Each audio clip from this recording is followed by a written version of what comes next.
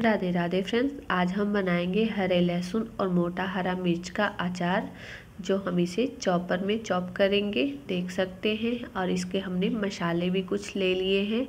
चलिए हमें इसे कैसे बनाना है, हम आपको बताएँगे, देख सकते हैं। देखने में कितना ही अच्छा लग रहा है। और हरे मिर्च का भी अचार, ये भी देखिए कितना ही अच्छा लगता है। चलिए बनाना शुरू करते हैं।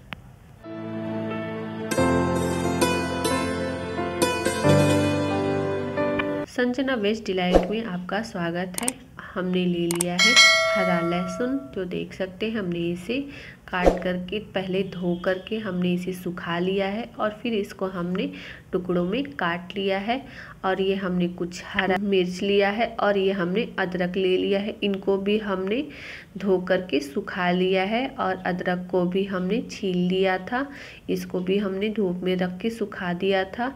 देखिए, लहसुन को हमें ऐसे ही टुकड़ों में काट लेना है। हम इसे चॉपर में चॉप करेंगे। चलिए, हम मसालों को ले लेते हैं।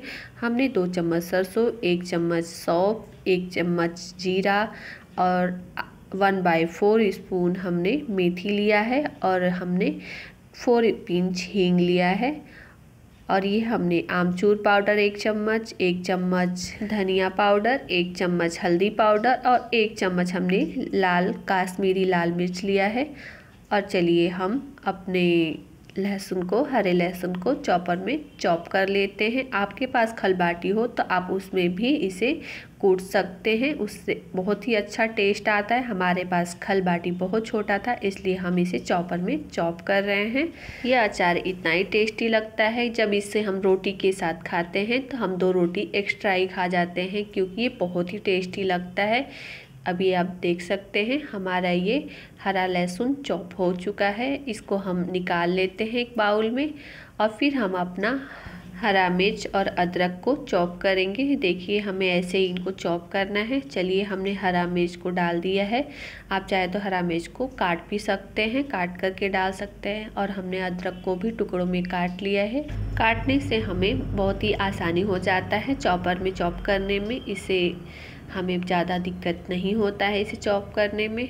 साथ ही साथ आपने हमारे चैनल को सब्सक्राइब नहीं किया है तो आप हमारे चैनल को सब्सक्राइब कर लें। देखिए, ये कितना ही अच्छा तरतरा सा एक हमारा पेस्ट रेडी हो गया है। इसको भी हम एक बा, बाउल में ट्रांसफ़र कर लेते हैं। देख सकते हैं, हमारा बिल्कुल ही परफेक्ट चॉपर में चॉप हो चुका है ये। चलिए अब हम मसालों को थोड़ा भून लेते हैं। हमने सारे मसालों को एक कढ़ाई में डाल दिया है। आपके पास जो भी पैन हो या कढ़ाई हो, आप उसमें डाल करके इसे भून सकते हैं। हमें इसे बहुत ज़्यादा नहीं भूनना है। बस इतना भूनना है कि हल्का सा ये सुनहरा हो जाए और इसका एक अच्छी सी खुशबू आ जाए। देखिए, हमने इसे तर तरह सा पीस लिया है। बहुत ज़्यादा बिल्कुल स्मूथ बारीक नहीं पीसना है। हमें इसे दरदरा ही रखना है। चलिए इधर हमने तेल भी गरम कर लिया है। तेल को ठंडा होने के लिए रख देते हैं। हमें कच्चा तेल इस्तेमाल नहीं करना है। थोड़ा गरम करके तेल को आप ठंडा करके इसे इस्तेमाल कीजिएगा। और थोड़ा तेल हमने एक बर्तन में निकाल लिया है ताकि हमारा मसाला थोड़ा कच्चा ना रहे। इसे हमने चार से पाँच टेबल स्पून तेल ले लिया था एक बर्तन में। और सारे मसालों को हम इसमें जैसे हल्दी, लाल मिर्च पाउडर और धनिया पाउडर को हमने इसमें डाल करके थोड़ा मसालों को हम अलग से पका लेंगे, ताकि हमारे मसालों में थोड़ा भी कच्चापन ना रहे। और साथ ही साथ हम डाल देंगे अपना सारा चॉप किया हुआ हरा लहसुन और हरा मिर्च, अदरक, और इसमें हम डालेंगे हींग।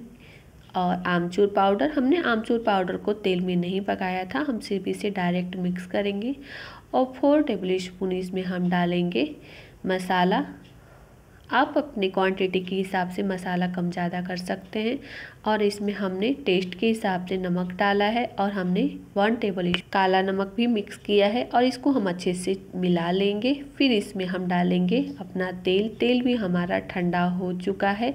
हम तेल को भी इसमें सारा मिक्स करेंगे। आप एक ही बार तेल को इसमें डाल करके अच्छे से मिला लीजिएगा। हम थोड़ा तेल कढ़ाई में और डाल करके रख देंगे। गर्म होने के लिए ताकि हम हरे मिर्च में भी इसे मिला सकें।